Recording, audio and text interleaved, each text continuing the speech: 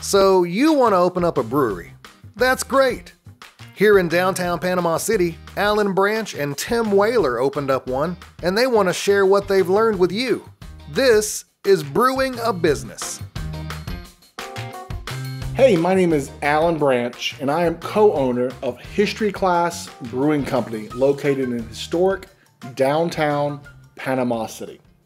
This is my very first brewery. Now, I've opened up other businesses and been a part of tech businesses. My family's been in the restaurant and car wash business since the late 40s. I grew up as an entrepreneur with entrepreneurial parents, uncles, and aunts. I am completely familiar with balance sheets, profit and loss statements, employees, hiring and firing, dealing with customers, all those sorts of things, but I have never opened a brewery. Breweries are sort of a mishmash, a mutant of a hospitality business and a manufacturing business.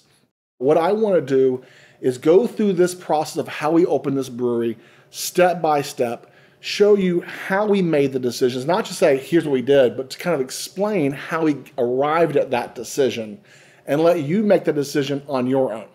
This course is sort of our story mixed with a few things I've learned, hoping to help you avoid headache, stress, and wasted money. Why did we want to open a brewery? So start with a why. Why do you want to open a brewery? Before you get too far in the process of buying equipment or getting into a lease, ask for help. The first step is to call the planning or zoning department in your municipality to see if you can even open a brewery there.